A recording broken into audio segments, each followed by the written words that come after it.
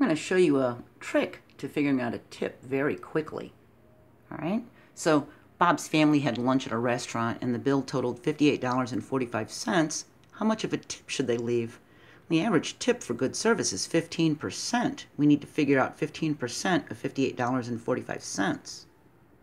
Well, a percent means parts of 100, and 15% means 15 parts of 100.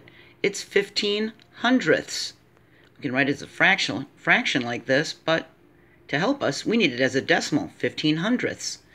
Now, this is the slow, more precise way. We multiply the $58.45 times 0.15. We do our multiplication and we add and we get 87675. There's four decimal hops in the equation. One, two, three, four. So we're going to put four hops into the product. So we can round this to $8.77 for approximately a 15% tip. Now that's the slow, precise way. So we know 15% of $58.45 is about $8.77. It's pretty close. So there's a trick to finding that 15% faster. 10% equals 10 parts of 100. It's 10 over 100, but we don't need to write those zeros. It's basically 1 tenth we can write it as 0.1 or 0.10. We don't need that zero, do we, on the other side? So all we have to do to get one tenth of $58.45 is move that decimal place one space, one place value towards the dollar sign. We get $5.85 when we round this off. If we did it the slow way, we would do $58.45 times 0.1, we'd still get about $5.85. That's 10%. All right? So all we had to do is move that decimal place over one spot towards the dollar sign to get 10%. Well, if 10% is $5.85, we still need 5% more so that we'd have 15, right? So if 10 is $5.85, 5 would be half of that, wouldn't it? So all we have to do is cut this in half when we do our division, we see that half of that is $2.92 approximately. We do have a little remainder, but we add the $5.85, which is 10%, to the $2.92, which is half of it as 5%, and total them to get 15%. It's $8.77. Now, here's the real fast way. If the service was really good, we can round that $5.85 to $6 an even amount. Half of that would be $3, so it'd be about $9. See? We can also start from the beginning and round $58.45 up to $60. Move the decimal place over so that we've got $6 for our 10%, $3 for the 5%, add them together, and we still get about $9. Okay? Now let me show you something else. We can do it again. If we need to find 15% of $32, we can do it the slow way. We can multiply $32 times 0.15. There's four hops in the equation. There's going to be four hops in the product. We get $4.80.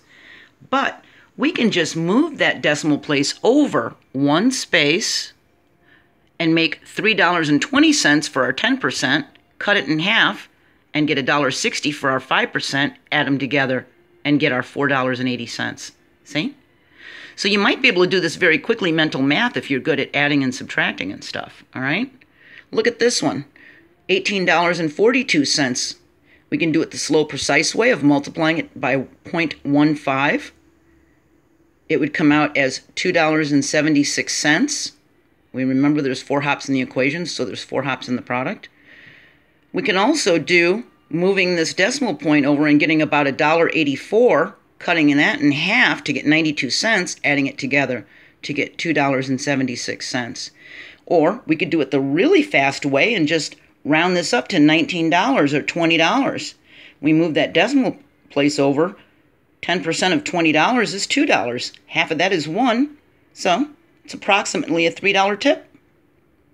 So they're going to get 20 24 cents more, but it's not that big of a deal if the service was good, right? Just leave them $3.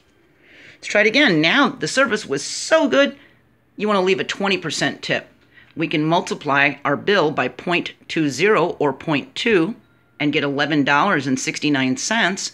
Or we can just move the decimal place over to get about $5.85 for 10%, add another 10%, so we're doubling it to about $11.70. And the real fast way is rounding that $58.45 to $60 and saying 10% is $6, another 10% is $6, so I'm just going to leave $12. See? So just remember that percents can be written as decimals. 15% is 15 one hundredths. That's 0.15. That's 15 one hundredths as a decimal. 28% is 28 over 100. It's 0.28. 5%, well, that's only 5 parts of 100. That's 5 one hundredths. That's 0.05. And if you see a percentage like this where there's three numbers you know it's 100% plus 20%, and 100% is one whole, isn't it? Plus the 20%, which is 0.2 or 0.20, but we can write it as 0.2. That would be 1.2. And if it said 220%, it would be 2.2. And if it said 320%, it would be 3.2. See? That just means we have a whole number here, okay? And if you ever see a percentage that has a decimal in it, well, that's half of 1%. That's not even 1%, it's half of 1%. That's 0.005. That's 5 one thousandths. What we're doing is we're removing the percent sign and we're moving that decimal from here two places over to the left. So we get 5 thousandths. For the 15%, we remove that percentage sign and move the decimal place over, and that's how we got the 0.15. See?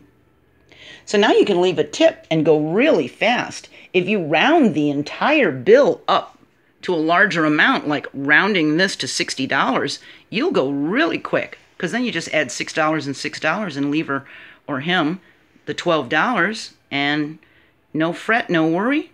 You're gone. You don't have to worry about figuring it out and doing all that math. See? Just round it off. All right? So I hope this helps you with some percentage problems too. And I'll see you next video. Bye.